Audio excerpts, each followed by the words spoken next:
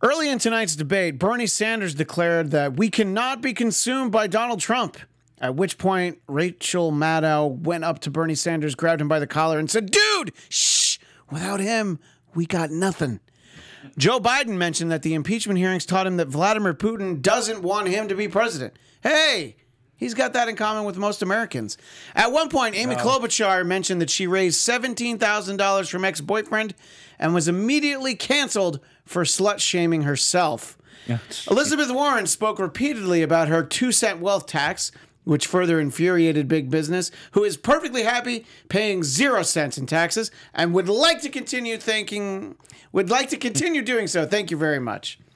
See, it was a funnier joke. I probably would have said it better. Uh, Mayor Pete Buttigieg declared that he's the least wealthy person on the stage and was narrowly murdered by a light that uh, stagehand dropped who was earning minimum wage. See, that's another one that I didn't I, I didn't write it right. Shout so that's on me. wage. That one's on me. I didn't write it well. But I'm going to read this last one good. And finally, in his closing statements, Joe Biden said there has never been a time when we as Americans have set our minds to doing something and we haven't been able to do it. Uh, say what now? Said millions of Vietnam veterans. The Trump Report starts now. I'm Maria Menounos, and you're tuned in to AfterBuzz TV, the ESPN of TV talk. Now, let the buzz begin. Welcome to the Trump Report. I am Christian Bladt. This is uh, one of our debate night specials, debate number five. Christian Bladt here, joined by the wonderful, the talented. I usually throw lovely in there, but you know what? You are lovely. Scott Moore, Bam! Thank you. thank you for It's being great, here it's great to be here, and uh, you basically covered the whole of the- debate. yeah, and the jokes right there. So I think we're good now. Yeah, all right. We good night, wrap it out. everybody. All right, good Thanks night. for uh, being here. No. Uh, well, let's uh, let's go big picture 1st Mm-hmm. Overall feelings about the debate: good, bad, indifferent. I, I would say, me personally, indifferent. Um, and, and at large, I, I don't think that anybody's performance tonight was really going to move the needle for most of voters that were tuning in. I, you know, there might have been a few people that were maybe kind of not sure who they wanted to vote for, and then they saw everybody tonight who overall had a solid performance. You know, there were some gaffes with Biden and I think uh, Tulsi Gabbard, but overall, I think if you liked your candidate, you know, you're you're going to continue supporting them. You didn't see anything that was really going to upset you. If there were a few people that were on the fence and they thought, okay, well. Cory Booker had a better night, for instance, than he's had in the past. I think Kamala Harris had a good, decent night tonight. So there could have been a few people there that will be more likely to maybe vote for those or keep them in the running a little bit longer. But overall, I think big picture, it's not going to change much. But I do think everyone pretty much more or less had a very solid night. And I think they did a good job of more or less also sticking to the issues and not really being as angry in their fighting as they were in the past. I mean, we saw like Mayor Pete in the past try to kind of uh, be a little more bitter towards Elizabeth Warren, you know, when she was the new front runner. And I think most people saw that didn't work well for him. So he kind of went back to his Right. normal kind of Mr. Rogers esque, very like friendly, center of the road kind of guy. Um, so he kind of went back to that, but I think he still did a good job of sticking up for himself and pivoting and kind of fighting back when needed to. And I think overall everyone else did pretty well too. And I think Biden had one of his best nights until the end when he had a pretty major gaffe. But considering it's Biden, I think he had a pretty good night too. Yeah, no, when you reference Tulsi Gabbard making a gaff, was her gaff just showing up and being on stage tonight? was was that the gaff or Yeah, well, you know, it, it- she was the only one that I kind of felt too. Besides, you know, some very specific moments, just in general, I thought that she came across a little more bitter and and angry. And um, I, I understand some of her points. Like one of her points was about the establishment Democrats. Uh, you know, and you can go back and look, and you can think of some people that didn't quite win, but the establishment Democrats like Hillary and John Kerry and Al Gore, and some of the people that are very entrenched in the party and are still, in her opinion, continuing on the the military industrial complex and and aren't much different than Republicans when it comes to those things. Um, but I think the way that she went about it came across bitter and having now really nice sound bites for Republicans yeah? you know, more or less when she was saying about the Democrats uh, tonight and saying they're they're not for the people, and uh, that's going to be a great attack ad for someone in uh, down the road for not even just Donald Trump, but for someone running in in a, in a swing state or a swing district uh, next year too. Yeah, I did think she made an interesting point when she talked about foreign policy Mm-hmm. and she referred to it as the Clinton, Bush, Obama, Trump, and basically Mm-hmm. Right. pointing that, like, you know, it's not really that different. Right. You know, it, it is really this sort of approach. And I, I don't think most people would say that, you know, I mean, not on that stage. They're not No. going to say that, like, oh, yeah, we've had this. Because if you're going to go back to Bush 41, that's more than 30 years, you Mm-hmm. know? So it's like, this is what our approach has been.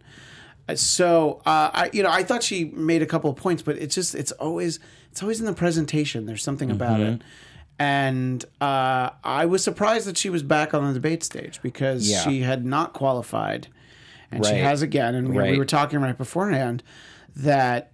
Cory Booker has not qualified for the next one, but he's here, and yet you and I both thought he'd run out of money. Like we thought Mm-hmm. He actually said that he had he had to not continue. Well, he did. I think one. it was in the. I think it was the September one, not the October one. Right. But the September one where he said basically, if I don't get enough money or support by the end of the month, I'm basically out. So he's been able to hang on. Now you know it, the stakes are just going to get higher and higher because now it's instead of three, you know, it was two percent, it's three percent. Now it's going to be four percent in December, uh, in four different polls. And you know, the money issue too, so it's it's going to be harder than after that. Now we go into 2020, and now the stakes get exponentially higher because now you're rolling right into actual voting um, in the states. So this this next one is going to be different, and this might have been the last one where we're going to see. I don't know as as friendly overall with everybody because I think people are going to have to differentiate themselves a little bit more. I hope they don't get as angry as we've seen in some previous debates and they're still able to keep their cool. But really, I think this could have been the last debate where we're going to see that because now the stakes are going to be much higher for these candidates if they're going to try to stay in here. Yeah, they're going to try and forward. Mm-hmm. get actual votes. yeah. and it's interesting because we've seen this before, where you you see someone target somebody who's maybe not the front runner. Like Tulsi Gabbard had some very specific stuff for Mayor Pete, Mm-hmm. Right. And the like back and forth was so much. You know, I was like, Ugh, you two get a room. I mean, I don't know what they would do in that room, the two of them, Right. but, but maybe have a pillow fight. But whatever Yes. it was, it was like enough already. And uh, you know, I mean, obviously, there's there are there are people that, and look, uh, you know, if we know that Pete is uh, Mayor Buttigieg is Mm-hmm. polling, you know, as, as first in Iowa, they all know it too, Right. And I think that you know, I was talking to somebody about Iowa earlier today because it's a caucus state. Mm-hmm. It you know, it, it's not a good indicator of who the nominee will be and who the president is. And I have a friend who he lived in Nevada the last uh, presidential election, and he was explaining to me what it was like. I mean, I, I sort of had an idea, Mm-hmm. but it's like if in the precinct that you go to for a caucus.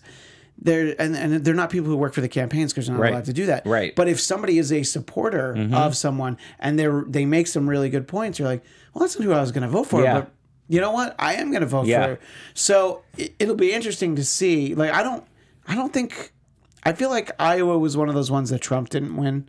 You know, I feel like it was one that Bernie won. But you know, this is Yes. just I could have googled this, but I forgot that I No, was going to but- talk about it. But I mean, you go back and you look, and and like Rick Santorum won, I think, what was it in 2012 or Mm-hmm. Yeah, I or think you're right. Yeah. Um, and, and and again, in just in general, the makeup of Iowa doesn't really represent the rest of the country as well either. It, you know, it skews a little bit older and very white. Um, and so a lot of the voters there on the Democratic side are a little bit more moderate to liberal.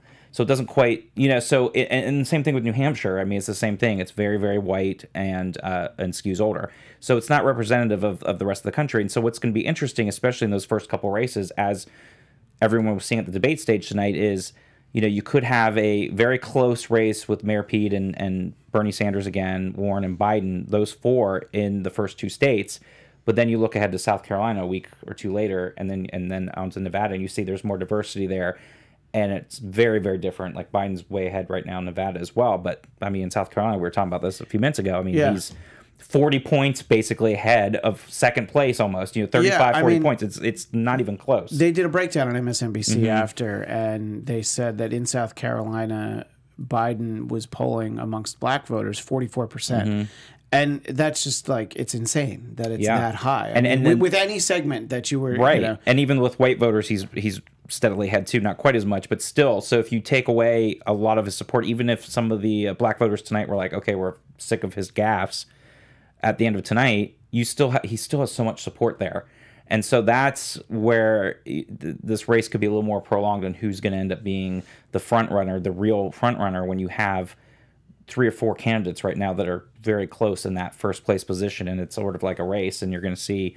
in a car race, like after Yeah. all the laps, who's going to be around that's going to be around and who's going to sort of crash and burn or who's going to just kind of keep the you know the momentum going with you know one two or three right there in in a bunch of different states so i don't know if tonight's debate overall is really going to change that for most people i just think overall it was very solid and not a lot of gaffes by everybody and people are that are already supporting a candidate are going to be like great they did good. And then maybe there were a few people like amy klobuchar for instance had a i think had a couple really good moments and otherwise had a solid night you know? She had like the thing with the ex-boyfriend was a little weird because it came out of nowhere like Yeah. what she was talking about.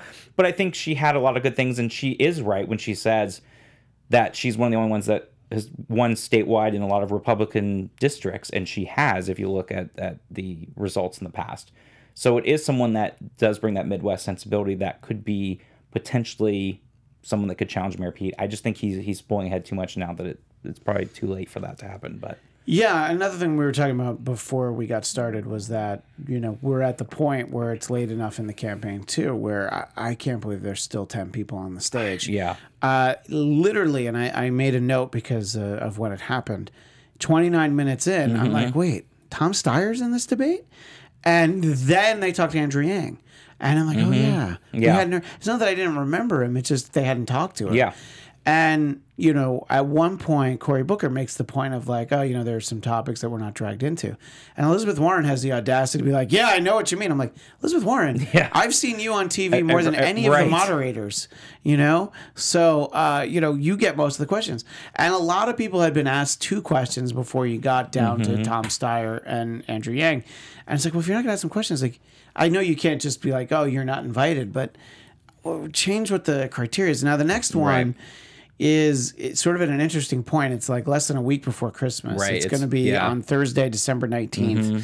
it's a weird And time to I'm have not it. quite sure if or when we would cover it. I think if we cover it, it'll probably be like late morning, early like noon time that Friday. Yeah.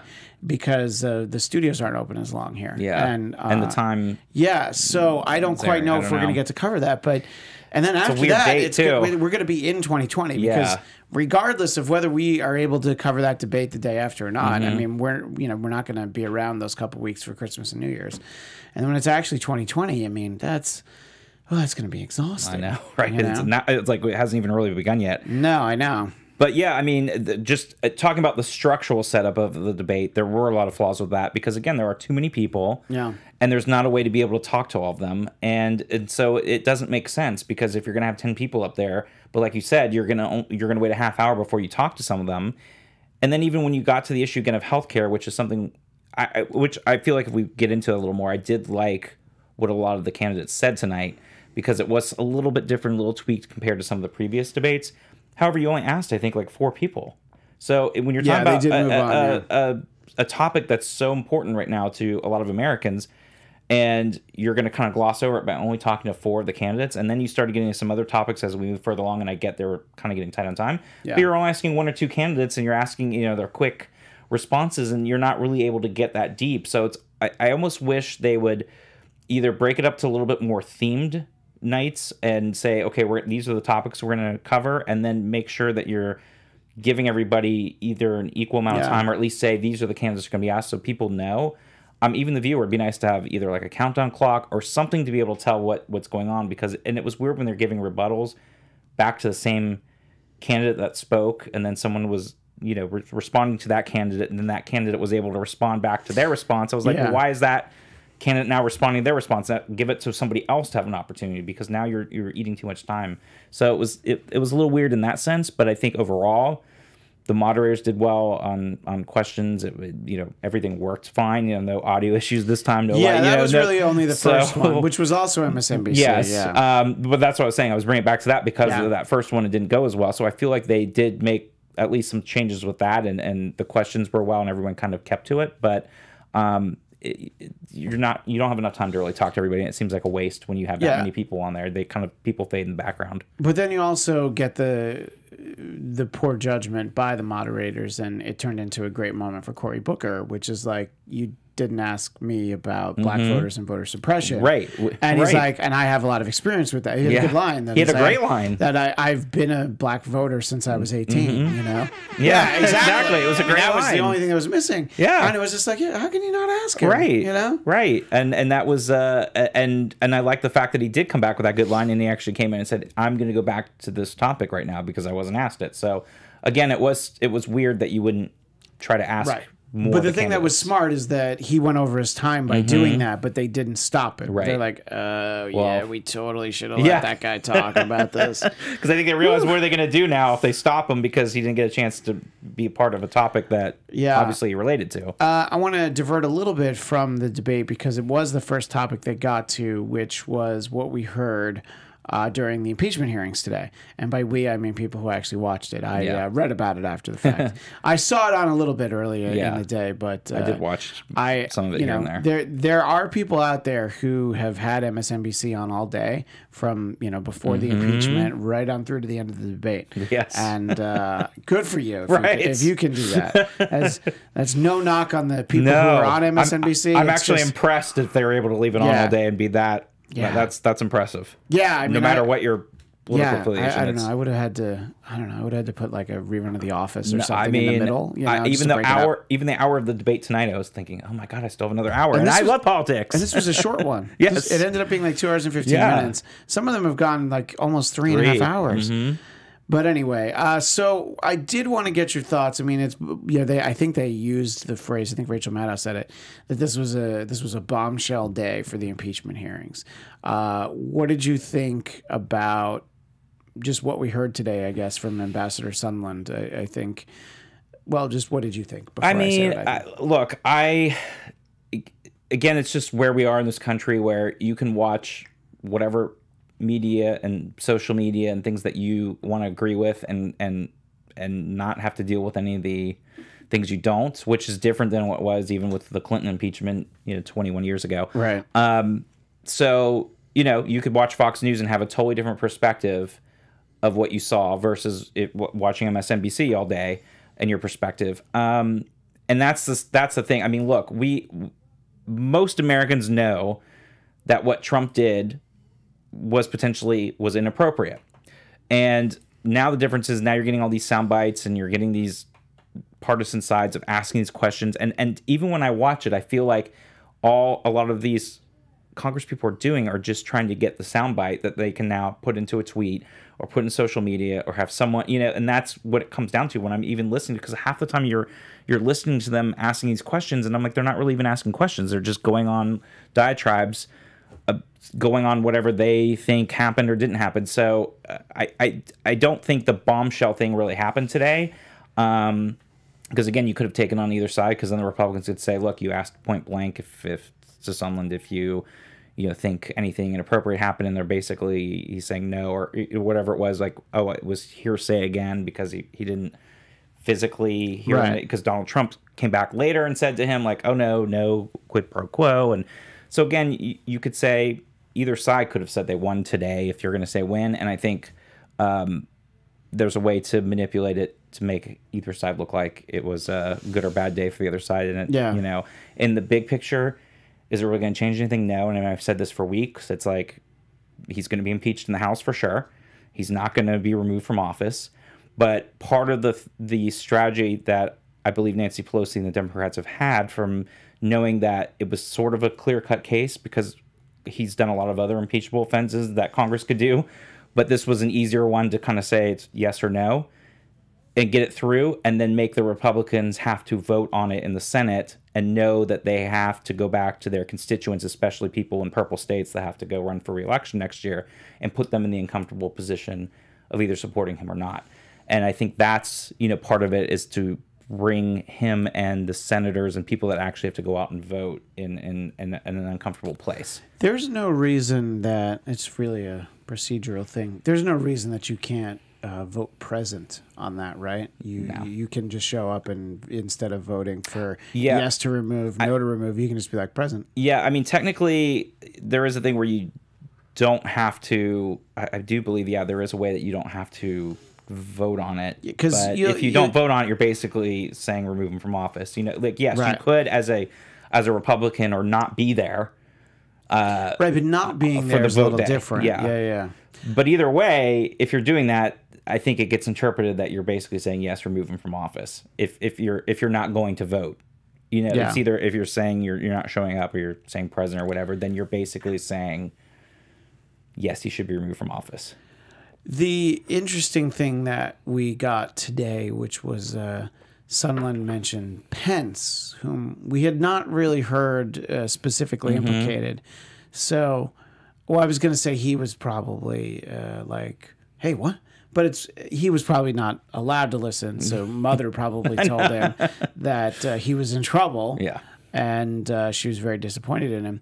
And then he just said, "No, I had nothing to do with you know whatever he said." He denied it. When I heard Pence's name was mentioned, there's only one person I could think of who would have whose ears would have perked up, Nancy Pelosi, Mm-hmm. who's like, "Oh wait a minute, can we get rid of both of them?" right. And she's like, "President Pelosi." Yes. You know, because it's uh, that's all it takes. Yeah. you just got to get rid of the two of them. That's right. That's right. And uh, there there has been talk that he could be implicated in this. That you know, and that Trump is going to bring him down too, um, because there's no way he would go by himself without throwing every single person under the bus. You think uh, Pence or No, Trump. Well, yeah, I don't know that Pence would throw everybody under the No. I think Pence will throw Trump under the bus if he thinks he can become president. So I, I, that that's going to be the interesting thing too. Would he get to a point where he would try to throw him under because then he could be president? Pence could be, you know, this was fun. Pence could be the like. I know that the Senate's not broken up like this, but this is, of course, just hypothetical. Pence could be the tie-breaking, deciding vote in the Senate to remove the president from office because he, the vice president, is the president Yeah. of the Senate. Right. And so, if for some reason you need one more vote, because hey, maybe twenty Republicans Right, vote yeah. present. you know, they're like, oh, we're not going one way or the other on this. Uh, so there you go. And that's that's a that's a good two part episode of The West Wing. I know, doesn't it? I mean, that feels like a conflict of interest too. Like, Yeah, I know. It's almost like wait, it's like, you're, look, you're removing the person I so that mean, you look, could become president. Like, I'm voting to I'm voting I'm here today to vote for who I think is the best person to be president. Yeah. And obviously it's me. so uh, you know, look, I'm gonna pardon President Trump after after I vote to remove him from office. Don't worry. Uh, and then the other thing, and this was brought up during the debate, was that, and I think we mentioned this last week. To me, the Ukrainian call, all of that, it's very bad. It does. To me, it's not that different than politics as usual. There might be some, you know, finer subtleties that uh, are uncommon, but the stealing money from your foundation that was supposed to go to the troops and having to, as it was said tonight, admit in writing that you did it. it is like, well, that's so much bigger than any Yeah, of this. right. Why aren't we talking more about that? Yeah. You know, this is like, oh, you were you on the call? No, I was not on the call. Have you heard the call? Yeah. Mm-hmm. No, I have not. Well, what do you know about the call? Uh, well, I was watching these hearings yesterday, Mm-hmm. and I heard some things that had me concerned. So I don't know. I, I, I why do you think we're not hearing more about that? Well, we've talked about this a little bit last week too. Is the fact that there are so many other corrupt, impeachable type offenses that this president and administration does on a regular basis that it's hard to keep up with them all. I mean, when you think about even the administration officials and people in the cabinet, it, it's it's mind-boggling how much has been happening, and the fact that more of that isn't brought up. But that's part of the tactic I think that even before that whole thing with the charity went through was uh, Nancy Pelosi made a bet that this particular impeachable offense out of the other ones was something that was more cut and dry that I think she felt would have been easier to make the case to the American people since the Mueller report was too convoluted and too complicated. There were so many layers um, that it wasn't able to really get out the depths of the corruption of this administration where this particular incident was something that was a little bit more easier for most people to understand. So I think that's why they focused on this. But yeah, I mean, you could go on for days about that and the emoluments clause and all the the you know those taxes and and why he's not revealing those and what kind of conflicts of interest does he have, let alone the charity with the two million dollars, let alone all the other administration uh, corruptible offenses going on with cabinet officials, going from Betsy DeVos. You go back to Scott Pruitt, the EPA. You go back to Ryan Zinke in Montana, uh, that then became the the congressman that then be, you know was running interior. I mean, it just goes on and on. Even Wilbur Ross with the census. I mean, it's Yeah. just like it just goes on and on. So there, it's almost so much that's hard for the everyday American to be focused on it. And I do agree. I think the Ukraine call, as bad as it is, doesn't really get most Americans rattled up on a daily like basis. it might be a top five Yeah. of things, but it might not. It's like it's probably in the. I'd say it's in the top ten, but it might not even be, you know, the the fifth most No, uh, it- objectionable thing. it's wrong and it plays into the fact that this president administration is corrupt, but it's not something that's so damning to where most Americans are going to be like, uh, okay, you know, like there's bigger things that they're worried about. And to me, yes, the the charity thing is a huge one. And you do feel like that's something that should be brought up more, and that's something that people, that Democratic candidates should be campaigning on as well. You know, it's just the fact that you've got to get rid of this corrupt uh, administration, this corrupt president, and be, bring up a lot of these things a lot more than they are. I, I do agree with that.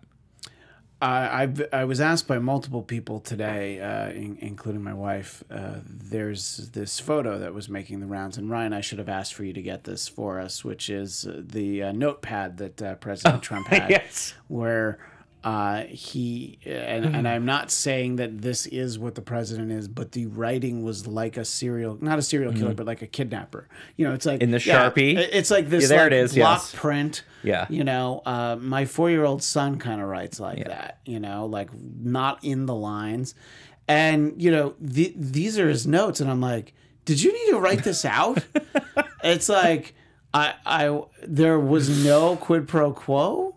And uh, it's like, if you know that there was no pr- quid pro quo, why did you have to write it out? And, you know, it was mentioned early in the day. The White House let us know that he was watching. Yeah. And then whoever took this photo, I mean, that's that should be like the Time Magazine photo of the year. It should be, and I, I hope that it's in the uh, like the Smithsonian one day, you know, when they're talking about uh, this moment in time in history. But it, it, and he writes back, "I want nothing twice," which I always thought was weird too. It was like, "I want nothing, I want nothing, I want no quid pro quo," and he's writing it in this huge sharpie Yeah. font. And I heard, and I don't know if it's true, but there was something somebody said it's now uh, available as a free font called like Tiny Hand. Oh, I did hear that. Yeah, yeah, I just saw that. So, uh, was yes, it? It's like that's that's perfect. yeah, it's it's weird. It's weird, and it's weird obsession with this And- sharpie thing, anyways. But yeah, this is not an this is not an impeachable offense here, but this is just weird. Yeah, it's you definitely know, bizarre. it's just like who who needs that? You know, It's- especially something as basic yeah, as what he wrote down too. yeah. Now that Okay. the funny thing would be if somebody else handed him this. Yeah. And said, "This is what you need to say." uh, anyway, so the, they did talk about this during the debate, and I thought that they uh, made a good point about Yes. it. And you know, there, I, I think uh, Klobuchar was the one who said that she's not going to say now that like, oh yeah, I'll definitely remove him from office. It's like, well, you know, let them make their case, which is a fine stance to take. Not a not a particularly popular uh, stance on that stage, Right, though. but I think it was. I mean, great. It was the political answer, but also it is the smart answer because if you go in right now, because technically they're supposed to be jurors, right? So they're in a trial, and so technically they shouldn't go in with preconceived notions. Of course, we know that's not the case. So for someone to go in on on, on a jury and say, "Oh, that that's, this person's guilty," before they get to the trial part of it, Yeah. would be wrong. So even though it's a political answer, it's also really the right answer to say to people to say you're not going in already to say I'm voting that he's guilty and he should be removed without hearing the evidence and having the full trial. Yeah, first. I mean Elizabeth Warren's answer is the kind of answer you or I would give if we wanted to not serve jury duty. Yeah, we're like, oh yeah, I'm definitely, voting guilty. Yes, Yeah. exactly. And the point is, you know, and that's the thing people forget. This part uh, in the House is not the trial. The trial is in the Senate, and that's when the president can come and bring his lawyers in. I mean, you know, that's where that's where the trial happens. So what we're seeing right now is not the trial portion of it, and so Republicans keep trying to say, oh, you know, we're not allowed to do this or that and whatever. This is just the hearing part of it. The trial is the Senate part. Um, I also like the fact that they kind of tried to go into the subject of, you know, they talked about Ford pardoning, pardoning Nixon Yeah. in the debate, and it, it was interesting that you know bu- they were very careful the way they responded to that too. And of course, they didn't ask everybody, but you know, Biden, for instance, was like, "Oh, it's up to my attorney general and the Justice Yeah. Department to decide about charges," and and and that was a very like squishy way of trying to get out of it, uh, of saying he wouldn't pardon Trump. Um, but it was fascinating that a lot of people brought up, "Oh, it's the Justice Department, it's the Attorney General's job, not the President's job," and I'm like, yes and no. I mean, realistically, it could be a type of thing like like if Pence was to become president, I would think he would make sure that Trump was pardoned from federal crimes. So yes, a president that is part of the president's job. So it was weird for them to try to say that's not. That's one of the special powers a president has. And so I was kind of surprised they were trying to take that off of their responsibility there in that response. That they all kind of said the same thing. Yeah, no, no I mean they they did. Uh, one of the uh, big moments uh, for the later part of the debate, and it, it circles back to taking an unpopular stance for that stage. Uh, Cory Booker uh, referenced the fact that uh, Joe Biden said that he would not uh, not legalize marijuana. Mm-hmm. Now, now, old, old Joe was quick to point out that he would decriminalize it, Yes. wipe the records clean, yeah. and then we'd figure out what to do about it. And uh, you know, look, Cory Booker, he again, he had a good line where he said that uh, I thought you were high when you said it. Right. Yeah. That was another good one. It was a good line. Yeah. Yeah. Yeah. But you know, and I mean, look, Joe had the the prepared, reasonably prepared answer. I mean, there's a lot of times in these debates where he starts saying something, he stops himself, and he kind of takes it a different way. You know, so he's uh, not as polished as he could be, but despite that. You still feel like he's coming at things from the establishment Right. point of view. And I think that that's why people feel like he's the best person to be the nominee because he's got the most mass appeal. He's a little bit more middle of the road. Maybe you are going to have some independent but, you know, right of center voters who are like, "Oh yeah, I don't want to I don't want to legalize any drugs. That doesn't make sense to me." So he, he's sort of, you know, going for the safe bet. And Yeah. uh, but you know, on that stage, it it makes him look that much more out of touch than the rest of them. Yeah, I, because he did. He basically said, you know, he wouldn't, and, and then he was sort of back. It was sort of a Trump esque. Then that's Yeah. where there is a lot of comparisons to Trump because he he does just say whatever comes in his head. And there were a few moments tonight too where he'd start saying something like oh, I forget where it was where he was talking about one thing and then it was going on to the, the social media and tweets about you know Donald Yeah. Trump. And then all of a sudden he was like oh never mind about that. Like he was segueing and then he kind of caught himself. Um, and and it, it's true. That's the conundrum that Democrats are gonna have to figure out in the next couple months is which direction they want to go in. Do they want to go in and a lot of people will say yeah go in sort of that safe moderate box because you get people like the John Bel Edwards that win in Louisiana Yeah, I wanted to bring that Um, up. Yeah, and uh, and Andy Beshear winning in Kentucky. Um, you know, and that's where a lot of Democrats will say, "Well, look, we do need someone like that that's going to appeal to independents and to suburban Republicans that'll be able to peel those voters away from either sitting on the sidelines or holding their noses and voting for Trump again." And then you get some on the other side that say, "We need to go in and really just tear everything up and go for Bernie Sanders or Elizabeth Warren." And you know there's and we'll get everyone motivated to go out and vote. We'll get the young people to vote. We'll, you know but so it, it, it is a conundrum. And it's going to be who can really cobble together that coalition. And that's that's sort of what's at stake here with the democrats and, and who's going to end up pull out, pulling out that win. Is it going to be someone who's going to be the safe bet and look a lot of the voters are older voters and a lot of voters are in most places of the country outside the coast moderate to center right even as democrats. So if you want those voters in pennsylvania and michigan and wisconsin and iowa and you know a lot of those other states you really are going to have to maybe look for someone who is going to be able to appeal to them. Uh, so that's what's going to be interesting in the next um, couple months to see who really gets the heart of the voters and who's going to motivate that yeah. They referenced John Bel Edwards, who just won uh, over the weekend since our last episode. Mm-hmm. Yeah. uh, won in Louisiana, and you know, again, this was another instance where Trump said, "You got to vote for you know the other guy because this is going to make me look bad." Mm-hmm. And I don't quite know why he's using his political capital in this way over the last couple weeks. I think because he thinks that people he thinks he's uh, our favorite president, even though he Right. hasn't said that in a while. yeah yeah but and it's just like you just like especially with well, Andy Beshear's the one who won. That was Matt Matt Bevin in the- Kentucky, the yeah. lo- Matt Bevin's the loser. Right? yes yeah, the incumbent who lost yeah. The re-election. incumbent who Yeah. was voted the least popular governor in the United States. Yeah. So that would make him 50th out of 50. Yeah. See how I did that?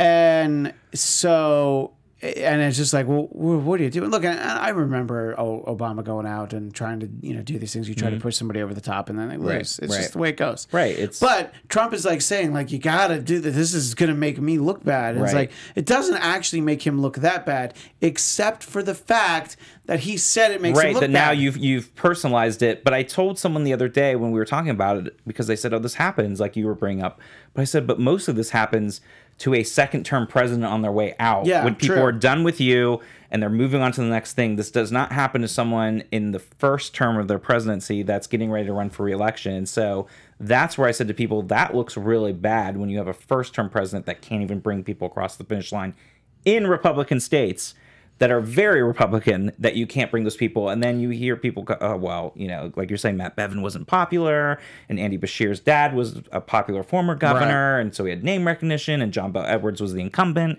And you can make the excuses all day long, but if you really look again, and it goes to the heart of it again, is the suburban voters in the Republican side have left in droves over the Trump era.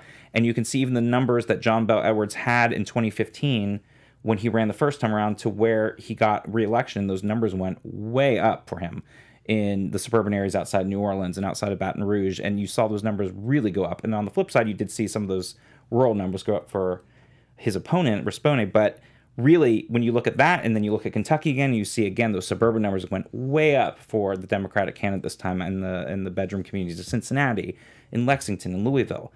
And so that's where Republicans really should start to feel a little bit nervous when you are seeing those uh, suburban voters that are were always very strongly Republican just leaving in droves and now voting for Democrats instead of just sitting out. So um, that should be a big concern for them, especially when you have a first term president that can't bring these candidates across the finish line when he's personalizing it too.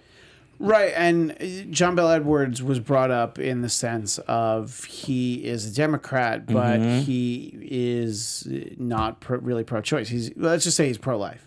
You know, I mean, he's passed legislation that reflects that. Mm-hmm. Right, right. And, I was disappointed in that as a Sure. as a Democrat to see that. But, I did think it was an interesting question Mm-hmm. to ask. Like, is there room for somebody like that? Like, is there room for somebody who is a little bit more moderate, you know, on abortion and Mm-hmm. gun control? You know, like a like a Democrat who's an NRA member. You know, Mm-hmm. obviously you'll you'll run into that in some of those states, and to your point, you do need people like that to win. And we're getting way so far ahead of the game, but I feel like for whomever your vice presidential candidate is, it probably needs to be somebody kind of like that. Right.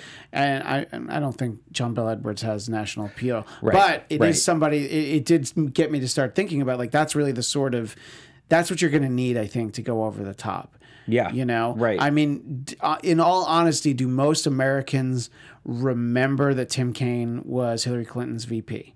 Because it, what, it was just like, oh, it's a guy that kind of says a lot of what she says. Not even saying he was a bad Mm-hmm, Right, he was just sort of boring and yeah. just right, you it was just yeah, it was just somebody else. But it's Yeah. like I had to think for a second what his name was. like I, I, I- didn't need a ton of time, but I'm like, well, oh yeah, Tim Mm-hmm. Kaine, you know. And so it, it's like I think that you know, look, your vice president doesn't get you elected, but your vice president could cost you some votes, Sarah Palin. You know, I mean, I, I definitely Right. think Yeah. that that uh, you know that can definitely happen.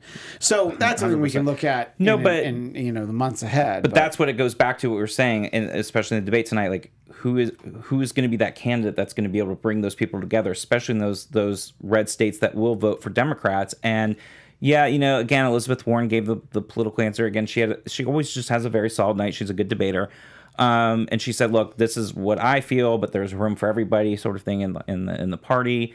Um, and I and I get it, uh, but I think that Democrats should be open to because I, I don't agree with it either, but to be able to, and I'm not saying it's not natural, like John Ballard's probably is uh, pro life and and you know pro Second Amendment because he grew up there, and so Yeah. you, you are affected by where you grew up and who you affiliate and associate with. But I, I think it is important to have Democrats that might lean a little more conservative, and same thing with Joe Manchin. And there's many times where I'm very frustrated with Joe Manchin and stuff in West Virginia, and there's been many times where I've been very frustrated with John Bel Edwards uh, in the abortion law and everything in Louisiana. But at the end of the day, I would definitely take them over any of their opponents. Um, but it's like Steve Bullock, who didn't make it to the debate Yeah, today, right. but governor of Montana, who is a Democrat, but also very much you know supportive of gun rights and everything else. I mean, again, that's part of what you need in the party. There's there's different people in all over the country here, and not everyone's going to be a coastal uh, liberal in an urban area. So that's where you do have to feel that you've got to be more open to different types of Democrats uh, for sure. Uh, one of the uh, the issues that they made a point to focus on, and this sort of speaks to your sort of moderate, middle of the road national appeal, is uh, climate change. Now, I do think that your your out and out climate change. I, I, I, when you call them climate change deniers, it, it, it puts a more uh, negative connotation. But it's let's just say skeptics. I'm not even talking about them. I think that there are people who are like, yeah, I feel like it's happening, but I do think, and we've definitely talked about this before. Mm-hmm. I think you start to turn people off when you talk about like, look, we've only got like six to eight years, Right. and then cities are going to be underwater. When you, you when you start to say that, you're like. Wait, really? And not in the way like, oh, really? Now I'm scared. I'm like, no, I don't think I believe that. Mm-hmm. You know, I don't remember what it when the timeline was, but I remember in Inconvenient Truth, uh, the the Al Gore movie, which I actually thought was very well done. Right. There And were so- some predictions that uh, did did not come to pass. Now you can point to the fact that you did have uh, the the superstorm Stan, Sandy, where Manhattan was underwater for those few days. But we we got predictions that things like that were going to be, you know, like by now that was going to be a fact of life.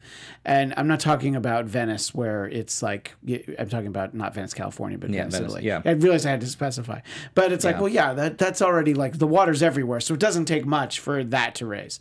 So I do think the alarmism you have to you have to play it right as a national issue. And i don't think anybody did that on the stage tonight. I don't think anybody played it.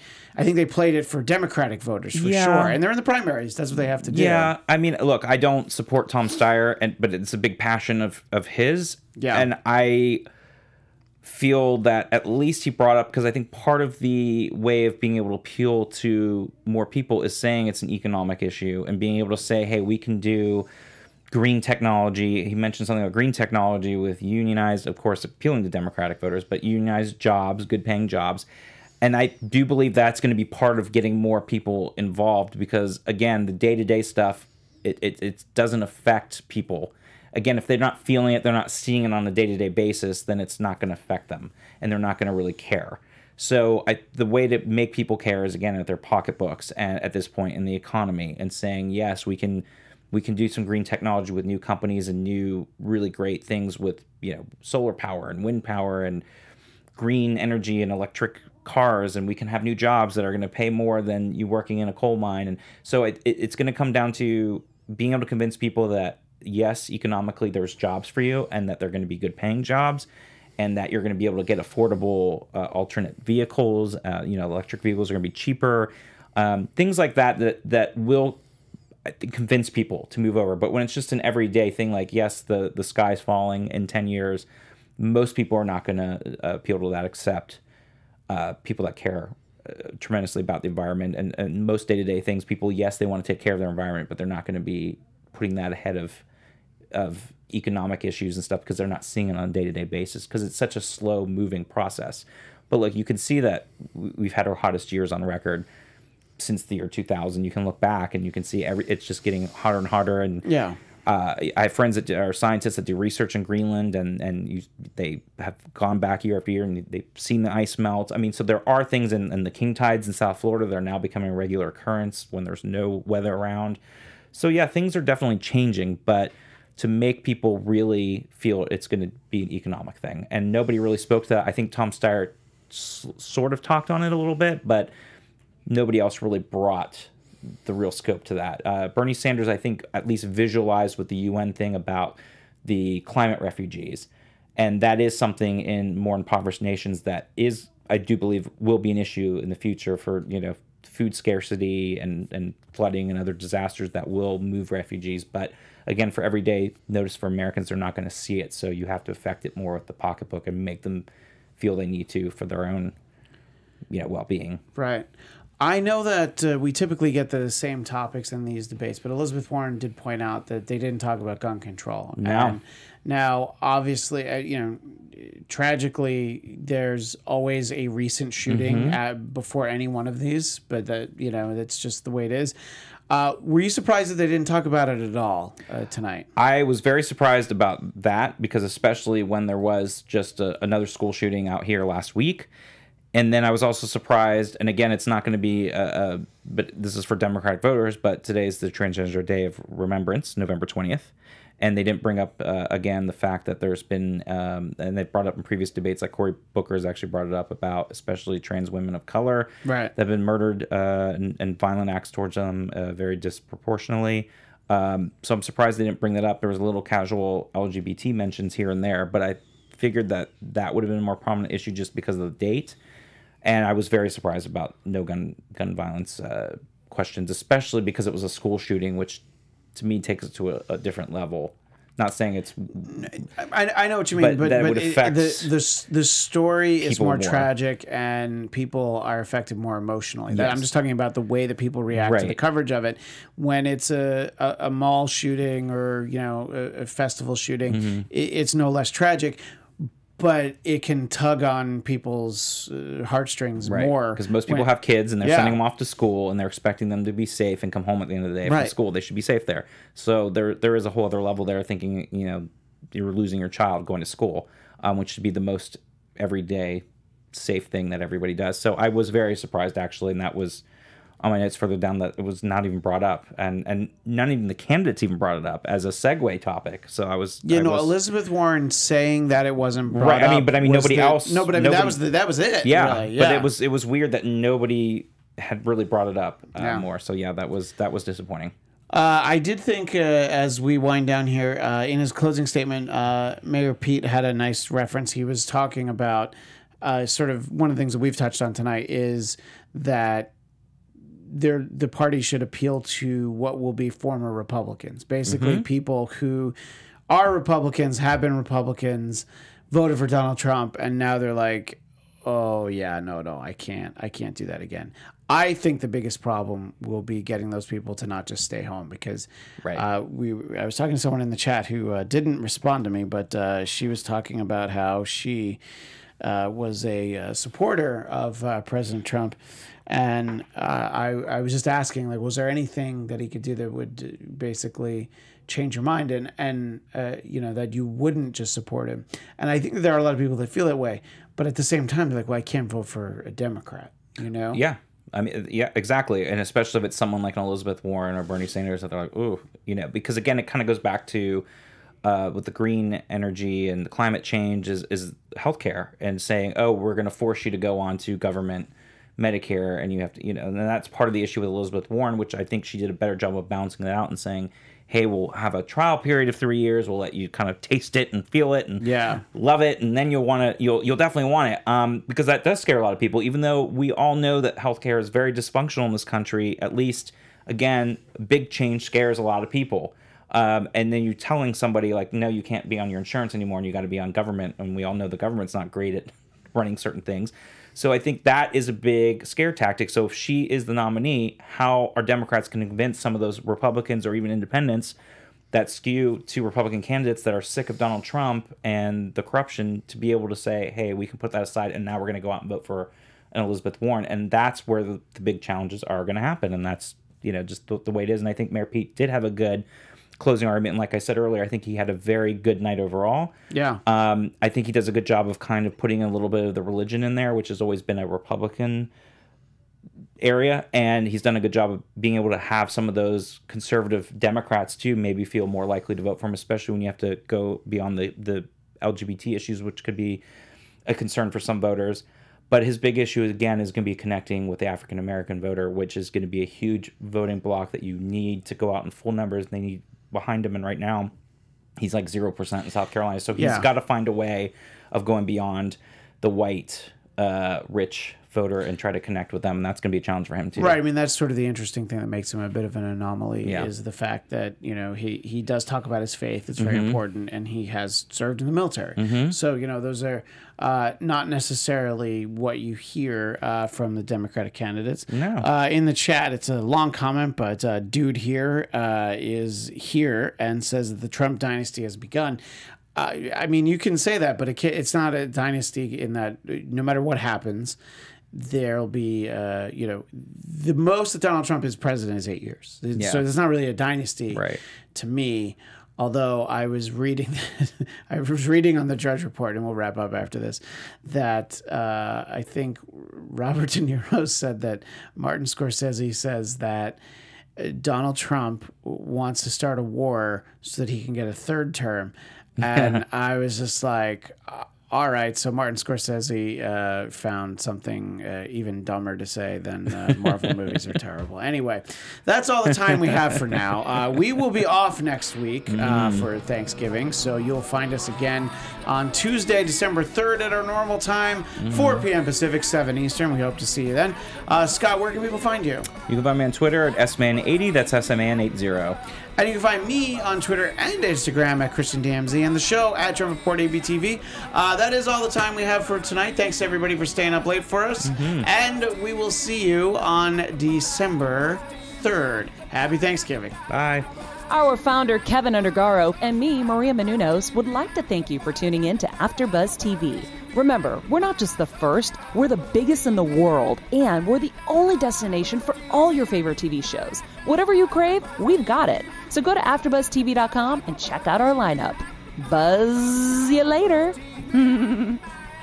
The views expressed herein are those of the hosts only and do not necessarily reflect the views of AfterBuzz TV or its owners or principals.